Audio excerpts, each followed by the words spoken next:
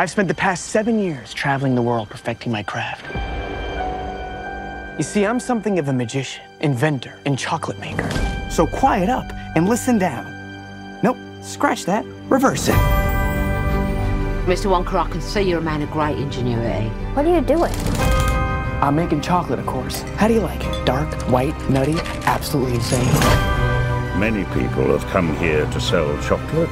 They've all been crushed by the chocolate cartel. You can't get a shop without selling chocolate, and you can't sell chocolate without a shop.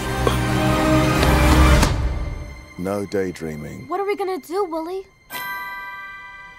Huh. Huh? Huh. A double huh? Do you have a pencil and paper? Uh-huh. I got an idea.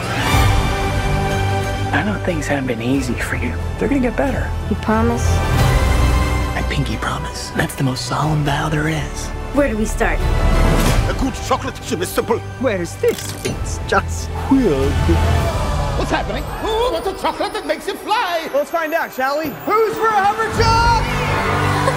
Nothing to see here. Just a small group of people defying the laws of gravity. Ladies and gentlemen of the Galeries Gourmet, my name is Willy Wonka. He's good. Too good.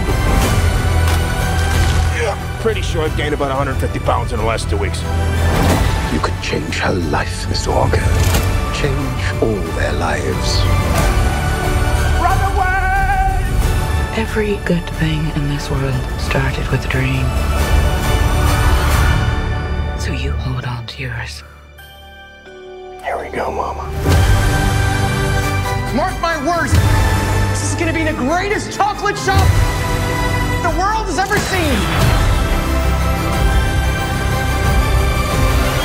So you're the funny little man who's been following me. I will have you know that I am a perfectly respectable size for an Oompa Loompa. An Uber what now? Allow me to refresh your memory.